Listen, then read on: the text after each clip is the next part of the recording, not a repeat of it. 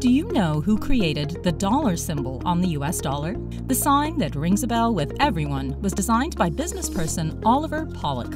Pollock was also one of the financiers of the American War of Independence. The icon dates back to April 1, 1778. The Bank of North America, First National Bank in America, accredited the sign in 1786 and adopted as the currency of the United States, with the printing of the first dollar sign in 1797. If you want to know how the dollar became a currency that affects the world economy, download the bitividi app.